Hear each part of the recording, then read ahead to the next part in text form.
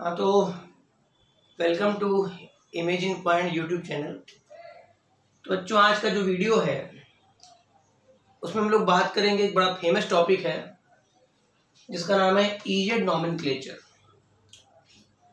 अब बात करते हैं कि हम किसी भी मॉलिक्यूल को, जो कि जेमेट्रिकल आइसोमेरिज्म शो करता है, कब उसका नाम ई रखेंगे या कब उसका नाम जेड रखेंगे। ठीक है? कुल मिला के मतलब ये है कि कब हम लोग उस मॉलिक्यूल को ई नाम देंगे, कब हम लोग क्या नाम देंगे? जेड नाम देंगे। तो पहली बात बता दूँ मैं जेमेट्रिकल आइसोमर्स मेरे पास क्या है? अगर मैंने दो मॉलिक्यूल ले लिए जिसमें कार्बन डबल बॉन्ड कार्बन है, मान लिया मेरे पास कोई मॉलिक्यूल है जिसमें डबल बॉन्ड एल्कीन है मोस्टली और यहाँ पर मैंने एक ग्रुप लगा दिया ए एक ग्रुप लगा दिया मैंने बी डिफरेंट होने चाहिए। जैसे यहाँ ए है, वहाँ बी है डिफरेंट होने चाहिए। यहाँ पर भी मैंने ए लगा दिया, यहाँ पर भी मैंने बी लगा दिया। तो ये मेरे पास कोई पहला फॉर्म बन गया है। मेरे पास कोई पहला फॉर्म है जिसे मैं सिस फॉर्म जानता हूँ। क्या जानता हूँ? सिस फॉर्म क्योंकि मैं बोलता हूँ, अगर मेरे पास सिमिलर ग्रुप सिमिलर साइड होता जैसे देखें, दोनों बी सेम साइड है, दोनों मेरे पास ए बी सेम साइड है, अगर मेरे पास सिमिलर ग्रुप सिमिलर साइड है ना बेटा तो मैं सिस फॉर्म बोलूँगा। क्या बोलूँगा? सिस इसी तरह से अगर मेरे पास सी डबल बॉन्ड सी इसी का जो दूसरा, इसी का जो दूसरा आइसोमर बनेगा आइसोमर वो है जिनके कंपाउंड के मोलिकुलर फॉर्मूले सेम है मगर स्ट्रक्चर में कुछ डिफरेंस आ जाए या स्पेस में पोजीशन में डिफरेंस आ जाए। अगर मैं ऐसा कर लू, इधर ए कर लू, इधर बी कर दू, ये वाला बी में इधर आ जाए, ये मेरे पास ए इधर आ जाए। तो मैं बोलूँगा सिमिलर ग्रुप अपोजिट साइड हो गया। अगर मेरे पास सिमिलर ग्रुप अपोजिट साइड हो गया है तो ये मेरे पास ट्रांसफॉर्म होता है। तो मैं बोलूँगा, जो मॉलिक्यूल फ़र्स्ट है और जो मेरे पास मॉलिक्यूल सेकंड है, ये मेरे पास एक दूसरे के जेमेट्रिकल आइसोमर्स हैं, ठीक है? आप देख सकते हैं सेम ग्रुप सेम साइड हुआ तो मैं इसे सिस बोल दूँगा। सेम ग्रुप अपोजिट हो तो मैं क्या बोल दूँगा? ट्रांस बोल दूँगा, ठीक है? जैसे फॉर एग्ज़ाम्पल ये तो भाई नकली मॉलिक्यूल था, ना तो हमारे पास ए कुछ होता है, ना भाई मेरे पास बी कुछ होता है। तो यहाँ मेरे पास क्या लिया? सी डबल बॉन्ड सी ले लिया। मैंने यहाँ मेथिल कर लिया और यहाँ पर डिफरेंट करने के लिए मैंने एच ले लिया, ठीक है? इधर भी मैंने मेथिल लगा लिया और इधर भी मेरे पास एच लग गया। तो भाई देख सकते हैं यहाँ पर दोनों मेथिल सेम साइड है, दोनों एस सेम साइड है। तो ये मेरे पास कौन सा फॉर्म बन गया? सिस फॉर्म बन गया, ठीक है भाई? इसी का ट्रांस बनाना है तो सी डबल बॉन्ड सी यहाँ मेरे पास एच है।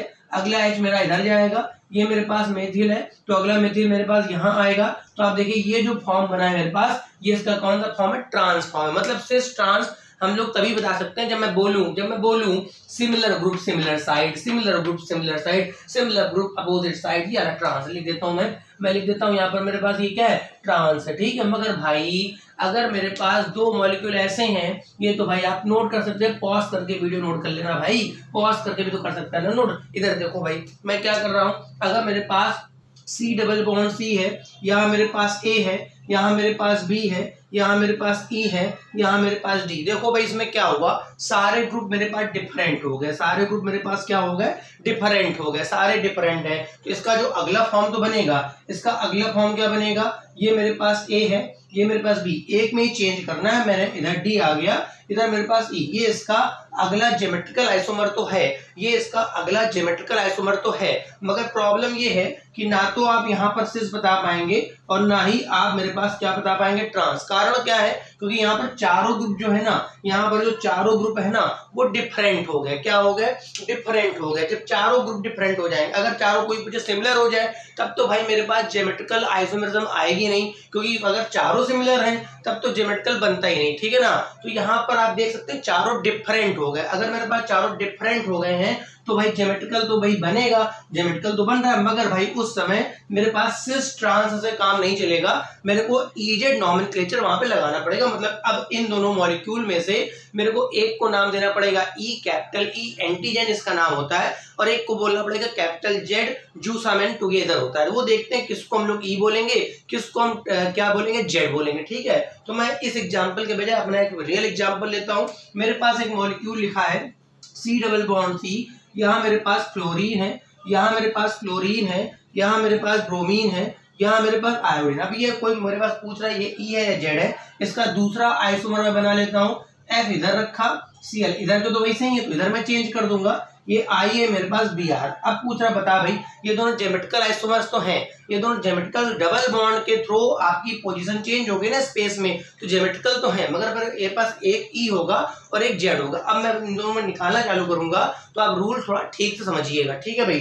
क्या करूँगा? ये मेरे पास जो पहला कार्बन है पहला कार्बन दिख रहा है इसमें जो दो एटम्स या जो भी ग्रुप लगे हों इनको मैं प्रियोरिटी दूँगा प्राथमिकता दूँगा प्रियोरिटी दूँगा कि फ़र्स्ट प्रियोरिटी सेकंड प्रियोरिटी वो प्रियोरिटी के मैं कैसे डिसाइड करूँगा? इनके एटॉमिक नंबर के अकॉर्डिंग इन दोनों में से इन दोनों में से जिसका एटॉमिक नंबर ज़्यादा होगा, कान खोल के सुनिए ना आप, है ना? इन दोनों में से जिसका एटॉमिक नंबर ज़्यादा होगा, उसको मैं दूँगा फ़र्स्ट प्रियोरिटी ठीक है? और इन दोनों में से जिसका एटॉमिक नंबर भाई दोनों अगर सेम हो गए तो प्रियोरिटी तो सेम आ जाएगी, तब इजेड बनता ही नहीं वहाँ पर। तो यहाँ पर देखो भाई क्लोरीन का एटॉमिक नंबर 17 होता है, और भाई फ्लोरीन का तो 9 होता है तो क्लोरीन का चूँकि ज़्यादा है तो ये मेरे पास फ़र्स्ट प्रियोरिटी है, और फ्लोरीन का मेरे पास सेकंड प्रियोरिटी ये बात समझ में आ गई? इसी तरह से अब मैं इधर भी थर्ड फोर्थ नहीं दूँगा फ़र्स्ट और सेकंड ही दूँगा। हर कार्बन पे आपको फ़र्स्ट और सेकंड आप सोचना सेकंड आ गया तो मैं थर्ड नहीं थर्ड नहीं देनी है। आपको इस कार्बन पे भी देनी है फ़र्स्ट और सेकंड वही कॉन्सेप्ट है सिमिलर कॉन्सेप्ट है भाई मेरे। जो जिसका एटॉमिक नंबर ज़्यादा होगा ना, उसे मैं दूँगा फ़र्स्ट प्रियोरिटी तो जिसका कम होगा उसको मैं दूँगा सेकंड प्रियोरिटी तो भाई आयोडीन का तो 53 कम से कम तुम्हें एटॉमिक नंबर अगर नहीं याद है तो F C L B R I priority table तो देखिए ना, उसमें जो नीचे होगा उसका एटॉमिक नंबर ज़्यादा होगा। तो ये मेरे पास फ़र्स्ट प्रियोरिटी ये मेरे पास सेकंड अब आप ये देखेंगे कि क्या सिमिलर प्रियोरिटी सिमिलर साइड आ रही है। तो देखने को मिलेगा भाई, देख one O one same side आ गया। तो यहाँ पर टू और टू भी सेम साइड है। अगर मेरे पास सिमिलर प्रियोरिटी सिमिलर साइड है, समझो भाई, अगर मेरे पास सिमिलर प्रियोरिटी सिमिलर साइड है तो मेरे पास जेड फॉर्म बनेगा। कौन सा फॉर्म बनेगा? जेड फॉर्म ठीक है? अब मैं इसमें देख लेता हूँ। जेड मतलब जूसा मैन होता है टुगेदर साथ साथ साथ साथ, हम साथ साथ है। ठीक है, इधर देखो भाई, यहाँ पर भी आ जाओ। ये क्लोरीन का तो भाई यहाँ फ़र्स्ट हो जाएगा, ये मेरे पास सेकंड हो जाएगा। कोई प्रॉब्लम एनी प्रॉब्लम एनी समस्या नो समस्या। अब यहाँ पर आओ भाई आयोडीन तो भाई इधर लग गया। ये ब्रोमीन तो ये भाई मेरे पास फ़र्स्ट है, ये मेरे पास सेकंड अगर मेरे पास, अगर मेरे पास, अगर मेरे पास क्या क्वेश्चन के पास, अगर क्वेश्चन के पास सिमिलर प्रियोरिटी अपोजिट साइड चली जाए, क्या चली जाए? सिमिलर प्रियोरिटी अपोजिट साइड चली जाए तो वो ई e फॉर्म होता है तो यहाँ पर वन और वन अपोजिट चला गया। देखो भाई, मेरे पास वन और वन अपोजिट है, और यहाँ पर टू और टू भी मेरे पास अपोजिट है तो ये जो फॉर्म बनेगा, मेरे पास क्या बनेगा? ई, बहुत छोटा सा कॉन्सेप्ट है, इसको मैं रब करता हूँ, ठीक है? आर एस वाला जो अगले लेक्चर में आएगा, वो थोड़ा अच्छा टॉपिक ये भी अच्छा है। क्वेश्चन आते हैं क्वेश्चन जो क्वेश्चन मेरे को नंबर दे जाए आईटीजी में दे जाए नीट में दे जाए, किसी भी कंपटीशन में दे जाए, वो क्वेश्चन अच्छा है, काम कदम अब मैं अगला एग्ज़ाम्पल ले रहा हूँ। सी डबल बॉन्ड सी मैंने यहाँ पर सी एस थ्री कर लिया और यहाँ मैंने एन टू कर लिया। इस जगह मैंने सी एल कर लिया।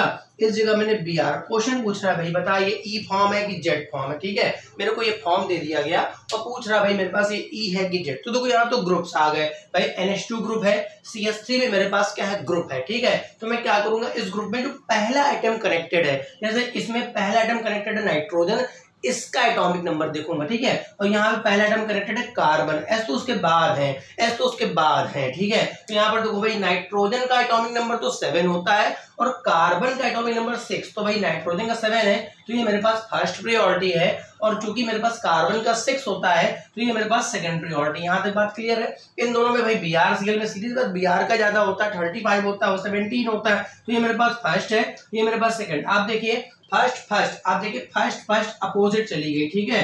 फ़र्स्ट फ़र्स्ट अपोजिट तो भाई सेकंड सेकंड भी मेरे पास अपोजिट होगी तो ये जो फॉर्म बनेगा मेरे पास कौन सा फॉर्म बनेगा?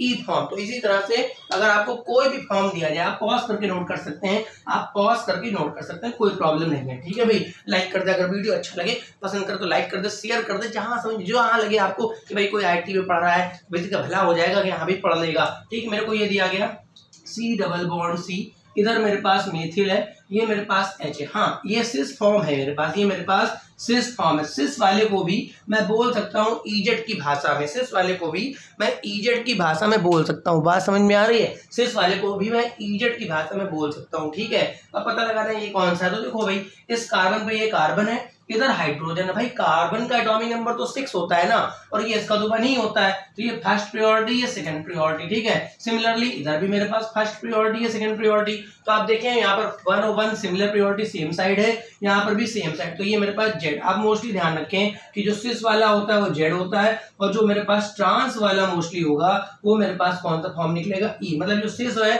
अगर आप उसको ईजेड नॉमन में देखेंगे तो हमेशा जेड निकलेगा, और जो मेरे पास ट्रांस होगा, वो हमेशा क्या निकलेगा? ई e निकलेगा, ठीक है? अब थोड़ा सा एक आधे बस हम लोग लाइन वाले और ड्रा कर लेते हैं ग्रुप वाले आप कर लेंगे। हाँ एक और बता देता हूँ, अगर मेरे पास पहला आइटम सिमिलर हो जाए, जैसे मान लो, इधर मेरे पास मेथिल है इधर मेरे पास सी ओ ओ एच है। इधर मेरे पास ओ एच है। इधर मेरे पास ओ सी एस थ्री है। इस केस में अगर कोई पूछता है, भाई बताओ, ये ई e है कि जेड है, क्या है पहला आइटम का है, कोई दिक्कत नहीं। पहला कार्बन यहाँ पर है, यहाँ पर भी पहला। भाई पहला आइटम तो सेम हो गया। भाई पहला आइटम जब सेम हो जाएगा तो आप प्रियोरिटी के लिए आप नेक्स्ट आइटम पे जाएँगे, ठीक है?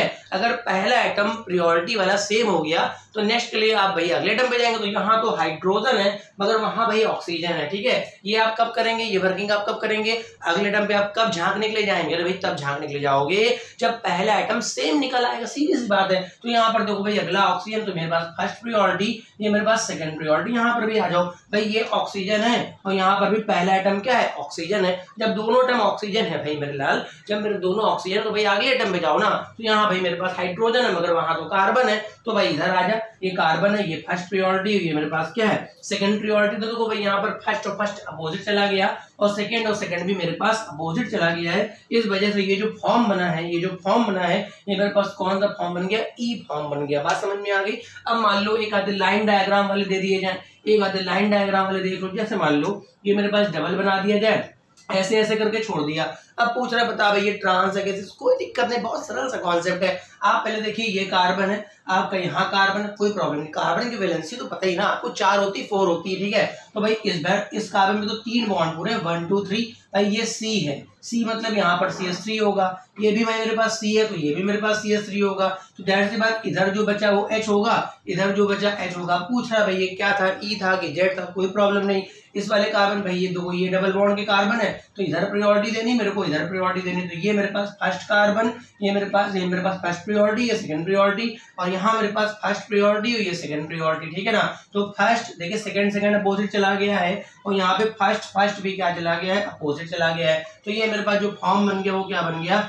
ई e फॉर्म एक आधे और देख लेते हैं। अगर आपको लगे कि हाँ भाई, इस टाइप के क्वेश्चन जो बनते सब टाइप के बन सकते हैं भाई।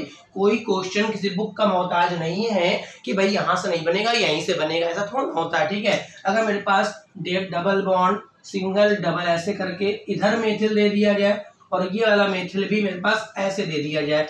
अब बता रहा भाई, डबल बॉन्ड में तो देखोगे ना जेमेट्रिकल वाला ईजेड हर डबल बॉन्ड पे देखते हैं, ठीक है? तो बताओ, इस वाले कार्बन पे यहाँ मैंने एच लगा लिया, इस वाले कार्बन पे मैंने यहाँ एच लगा लिया। अब इस डबल बॉन्ड पे देखो, इस डबल बॉन्ड पे अलग देखना है, इस डबल बॉन्ड पे अलग देखना सिंपल सी बात समझो, सिंपल सी बात, आप चाहे तो यहाँ पे देखो, ये एच लगा लिया इधर मेरे पास एच रुका आप निकाल लो, इतने सिस्टम कलर निकाल लो, भाई, इस कार्बन पे देखो, इस कार्बन पे, इधर कार्बन इधर एच देखो भाई मेरे भाई, इधर कार्बन इधर है तो ये फ़र्स्ट प्रियोरिटी ये मेरे पास सेकंड अब इस वाले में आओ, इस वाले कार्बन पे आओ तो देखो बेटा, इधर कार्बन है, इधर देखो, इधर कार्बन उधर एच तो ये वाला फ़र्स्ट प्रियोरिटी ये सेकंड अब इतने को देखो जरा फ़र्स्ट फ़र्स्ट अपोजिट चला गया सेकंड सेकंड में अपोजिट चला गया तो इधर वाला तो ई e हो गया, इधर वाला क्या हो गया? ई e. अब इस डबल बॉन्ड पे आ जाओ, एक कार्बन ये है, एक कार्बन ये है, बताओ। इधर मेरे पास कार्बन है तो ये फ़र्स्ट प्रियोरिटी इधर मेरे पास एच है तो ये क्या? सेकेंड प्रियोरिटी ठीक है? इधर आओ। इधर वाले पास जा दो इधर मेरे पास कार्बन जा रहा तो ये मेरे पास फ़र्स्ट प्रियोरिटी इधर एच है, उसका नंबर तो वन होता है तो ये सेकंड प्रियोरिटी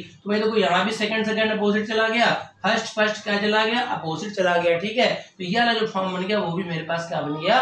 ई फॉर्म बन गया, ठीक है? उम्मीद है कि आप इस तरह के अगर मैं एक दो क्वेश्चन दूँगा तो आप उसको घर से सॉल्व करके भेज सकते हैं, घर में सॉल्व करके कंफर्म भी कर सकते हैं। जैसे मान लो, आप एक घर में ये कर लीजिएगा, यहाँ डबल है, यहाँ डबल है अगला मेथिल मैं इधर कर लेता हूँ और अगला एच इधर कर लेता हूँ। इधर भी मैं मेथिल कर लेता हूँ, इधर भी मेरे पास एच कर लेता हूँ, ठीक? हाँ अगर कहीं पर सब जगह पे वो एच ही एच लगा दे, जैसे मान लो, जैसे ये तो आप पहले क्वेश्चन नोट कर लीजिए, ठीक? बन जाएगा क्वेश्चन नोट कर लिया होगा। अगर उसने कहीं पर सारे एच लगा दिए, जैसे मान लो, ऐसे बनाया, और यहाँ पर उसने ये भी एच कर दिया, ये भी एच काम खत्म, इसका जोमेट्रिकल नहीं बनेगा सिमिलर एटम्स हो गए, ठीक है? प्रियोरिटी नहीं आ पाएगी। यहाँ पर देखो, यहाँ पर दोनों एच कर दिए, काम खत्म। अब इन दोनों डबल का काम खत्म हो गया। यहाँ पर प्रियोरिटी नहीं आएगी, ठीक है ना? तो आपका एक क्वेश्चन वो हो गया। एक मैं और दे रहा हूँ, उसको आप नोट कर लीजिए। आप प्रैक्टिस करिए, कोई दिक्कत नहीं है। जहाँ प्रॉब्लम वहाँ पूछिए। यहाँ डबल इस तरह से, एक मैंने इधर दे दिया। यहाँ मेथिल है, यहाँ मेरे पास एच है, यहाँ पर कुछ नहीं तो एच होगा। यहाँ कुछ नहीं तो एच होगा, ये मेरे पास मेथिल है और ये मेरे पास एच है। तो इस तरह से ये आप नोट कर लेंगे। ईजेड नॉमन के जितने प्रॉब्लम्स थी मोस्ट ऑफ़ द केसेस में जो पूछा जाता मैंने कंप्लीट कर दिया। अब जो नेक्स्ट लेक्चर हो सकता है, मेरे पास आर एस नॉमन का आएगा, जो बड़ा भाई दिक्कत लोगों को लगता है कि फिसर दे दिया तो मैं क्या करूँगा? आप इसको देखिए नोट करिए। Thank you thank you for watching the lecture